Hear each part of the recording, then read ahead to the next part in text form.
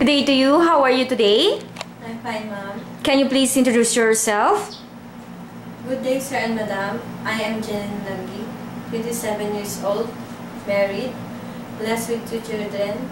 My husband is a construction worker, and my father is a vendor. My mother is a housewife.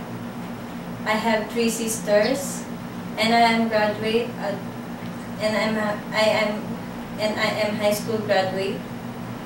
And I work as a domestic helper in Brunei for eight for two years and eight months.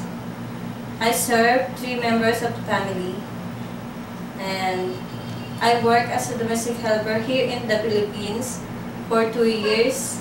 I've served four members of the family Why did not renew your contract with your previous employer?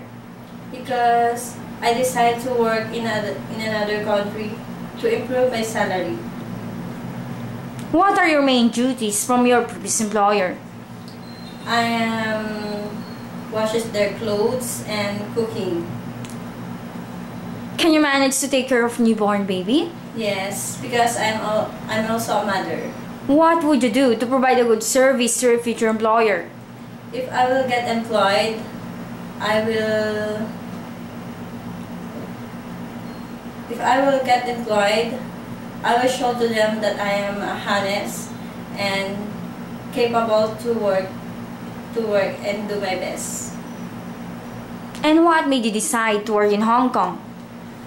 I decided to work in Hong Kong because I want to earn money for the future of my children And how long do you plan to work in Hong Kong? until I finish my contract. Do you have any last message to your future employer? Good day, sir and madam. Um, thank you for the trust you gave to the Filipino workers, and I hope you have a good day. Thank you. Thank you very much and hope to see you soon in Hong Kong. Thank you.